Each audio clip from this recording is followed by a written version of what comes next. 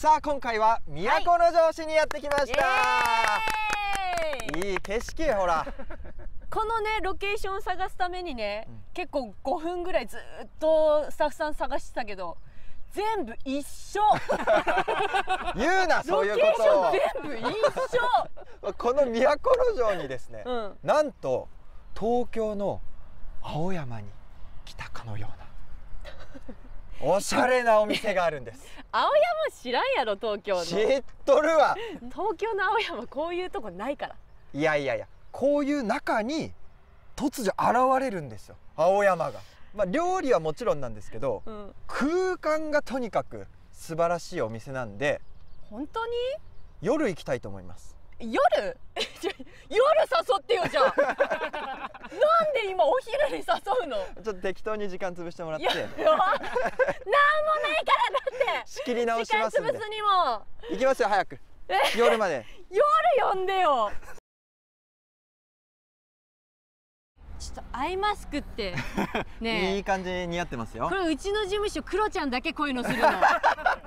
私違うから担当。そうこう言ってる間に、ね、青山が感じられるおしゃれなお店到着しました。開けていい？どうぞ。うわ えー、綺麗！青山だ！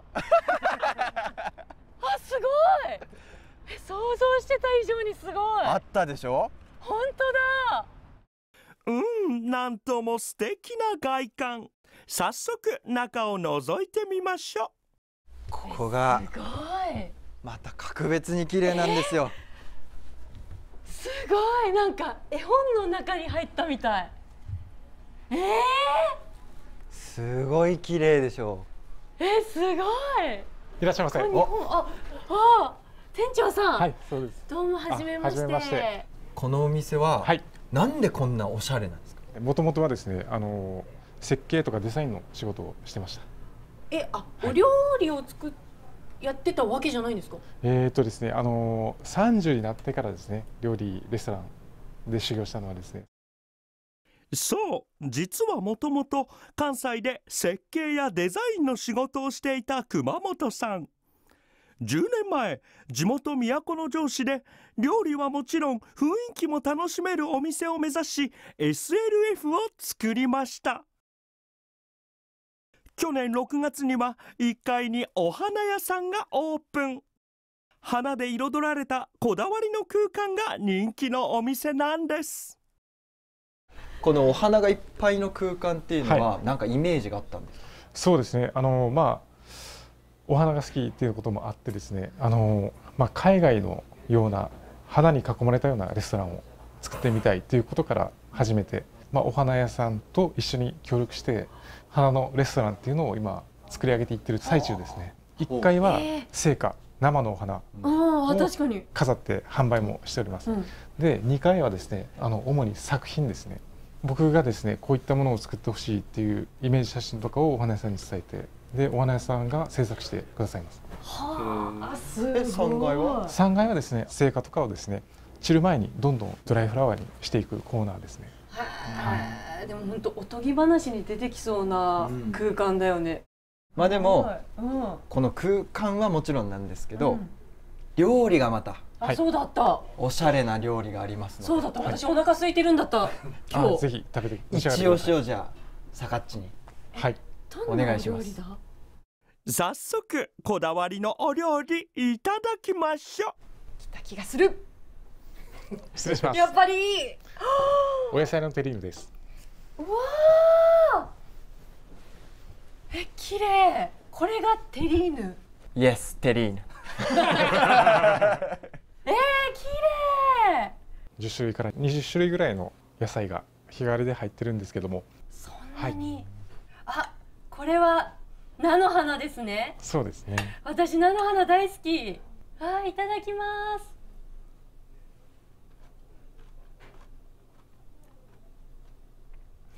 うまみ宮崎。ありがとうございます。困ってる困ってる。すみません店長、はい、せーの。うまみ宮崎。こちら何で味付けされてるんですか？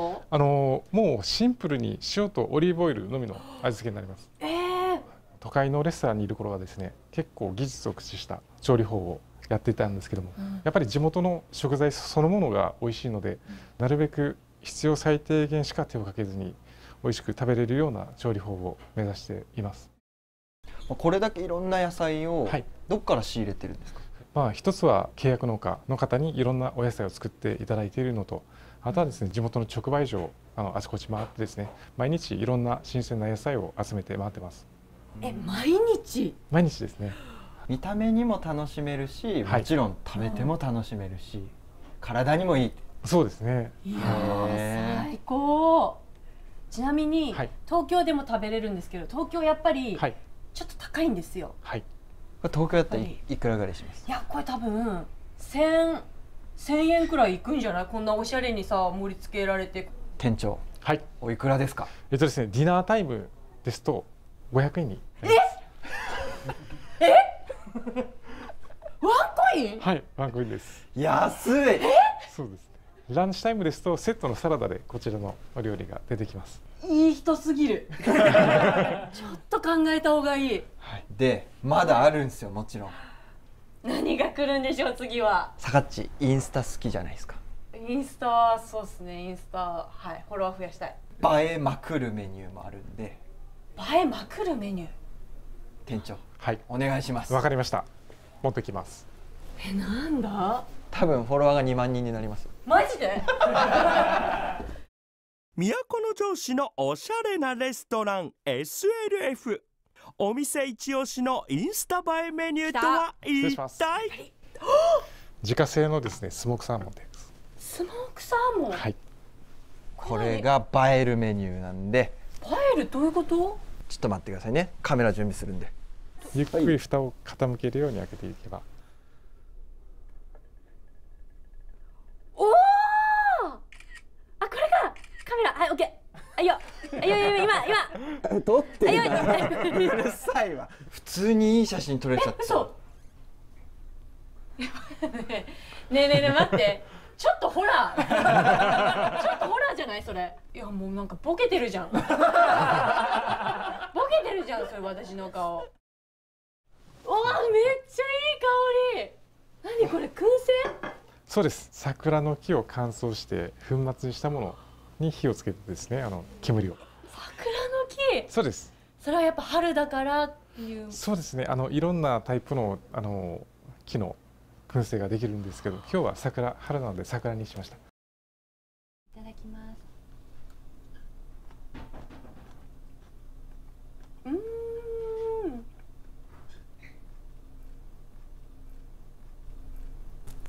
美味しそうに食べますね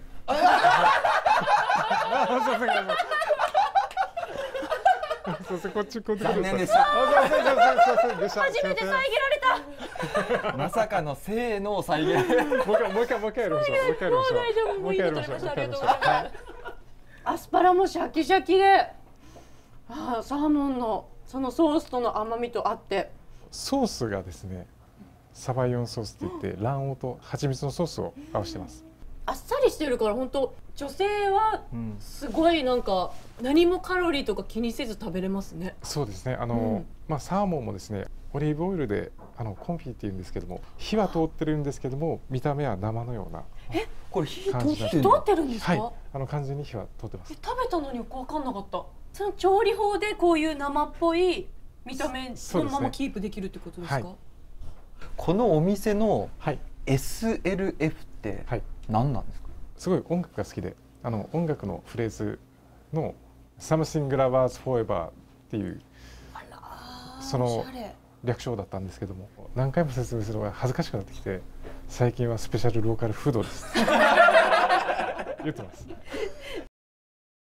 この他にもお得なランチメニューや予算に合わせたコースメニューも充実素材本来の味を楽しめるこだわりの料理をいただけますよ。来年がちょうど10周年になるんですけどもあのリニューアルオープンとかを考えておりましてあのその時のテーマがですね花に加えてですねあのヨーロッパのアンティークと家具ですね、はい、そういったものでちょっと埋め尽くしたあの花とアンティークのレストランをやってみたいと思ってます。